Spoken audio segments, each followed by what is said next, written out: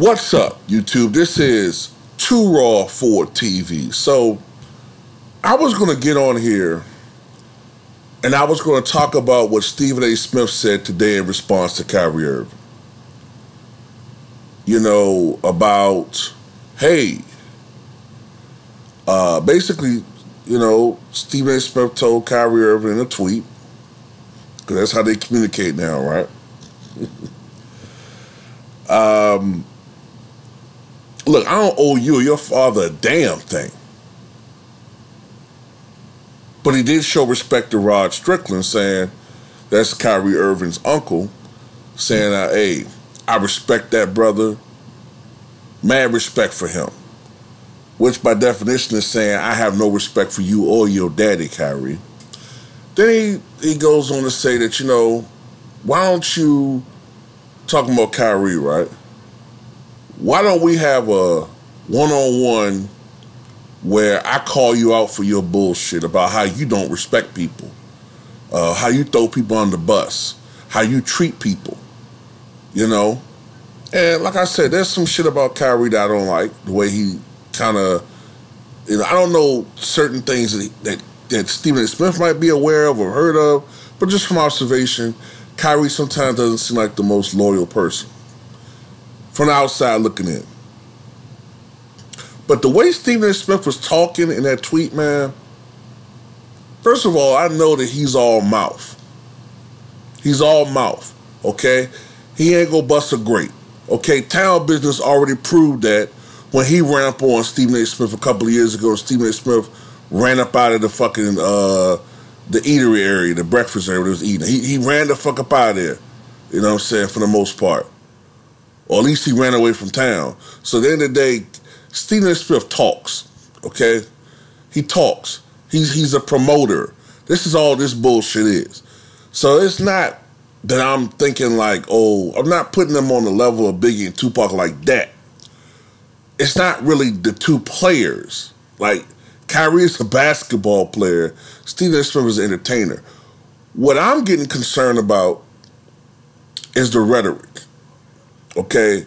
it's going beyond just basketball and it's becoming personal and it's it's like a snowball that's just getting bigger and bigger and bigger coming down that you know that mountainous hill and it's getting bigger and bigger and it's going to become a huge avalanche that threatens people involved in this situation because it's not Biggie and Tupac that led to their demise. It was the noise around them, the atmosphere that led to those two brothers' demise. And I'm not trying to be a killjoy. I'm not trying to be that, oh man, you're making a mountain out of a molehill type situation, uh, dude. I'm not trying to do that. But I'm seeing warning signs, man. I'm seeing a lot of warning signs of, of man, I've been really hesitant to use this fucking term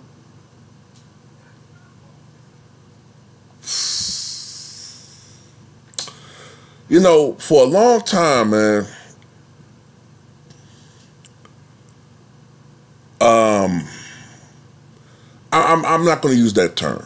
I'm, I'm gonna say I'm gonna say it like this.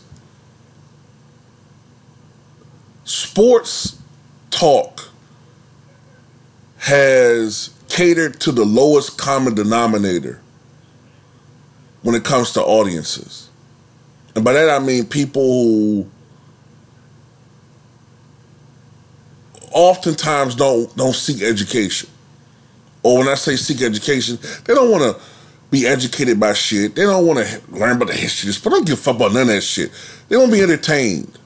Okay? They just want to be entertained. Now remember, we are a full generation, more than a full generation uh, away since Biggie and Tupac lost their lives. Remember how that shit got out of control. We have a whole new generation where everything now is on social media. Right? And what's making me uncomfortable with this situation is you got Draymond Green out there calling Perk what he's calling him. To the point where Swagoo has to talk to Big Perk and calm him down. You got a situation, well, look, uh, Russell Westbrook and Skip Bayless, they ain't gonna really amount to shit. What I'm concerned about is Stephen A. Smith has been talking a lot of shit for years, but he's getting out of pocket with his shit. He's getting out of pocket with a lot of shit he's saying. And I understand a lot of most of these NBA players ain't built like that, man. But like I said, it's not the players, it's other people around them. Who's to say Stephen uh, uh, Kyrie Irving ain't got some cousin that loves Kyrie Irving, right? Loves him. And, you know, Kyrie's done a lot for this cousin. But his cousin, a little bit, you know, he's out there. He got that mentality. He got that, that about him. And who to say, man, you know, I'm not trying to wish any of this shit into into reality, but you don't know. You don't know who the fuck people know. And people gotta stop talking. Look, it's already been established that Stephen A. Smith has security with him now, right? So he's out here talking this shit, creating this facade like he's Bumpy Johnson 2.0 that he's Nicky Barnes.